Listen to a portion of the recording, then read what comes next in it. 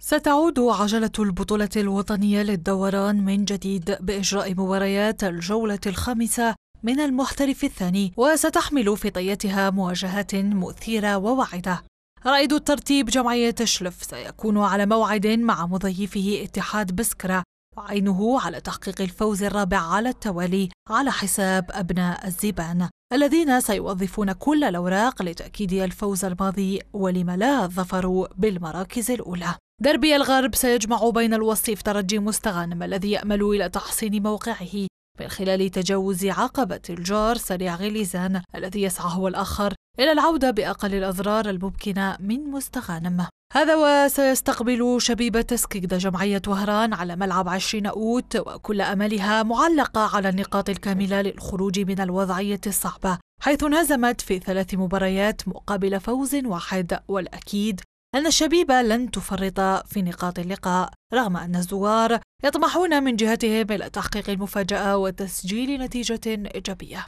ولحساب ذات الجولة سيكون فريق بلودية العلمة الذي تجرع مرارة الهزيمة على ملعبه وأمام جمهوره في الجولة المنصرمة أمام ترجي مستغنم على موعد مع نجم المكره. فيما سيكون اتحاد عنابة أمام مهمة صعبة عندما يحل ضيفا على مولودية سعيدة التي ستسعى حتما إلى تحقيق أول فوز لها في البطولة بعد أن تعادلت في ثلاثة لقاءات مقابل خسارة واحدة. وسيدخل أشبال المدرب مواسى هذه المواجهة وعينهم على العودة بنتيجة إيجابية. تقربهم أكثر من مراكز المقدمة حيث يحتلون المركز السابع بفارق ثلاث نقاط عن المتصدر. هذا وسيحتضن ملعب الوحدة المغربية ببجاية مباراة الشبيبة المحلية أمام ضيفه رائد القبة الذي ستكون عينه على العودة بالزاد كاملا لمغادرة منطقة الخطر. وهي المباراة التي تكتسي أهمية كبيرة بالنسبة لأشبال مصطفى بسكري من أجل وضع حد لسلسلة النتائج السلبية المسجلة في الجولات الأخيرة.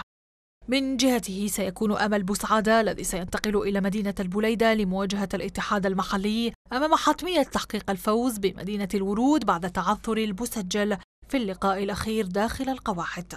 أما وداد تلمسان صاحب المركز الثالث بثمان نقاط سينزل ضيفا ثقيلا على الجريح ومتذيل الترتيب اتحاد الحراش الذي سيوظف كل الأوراق المتاحة لتحقيق الاستفاقة المرجوة.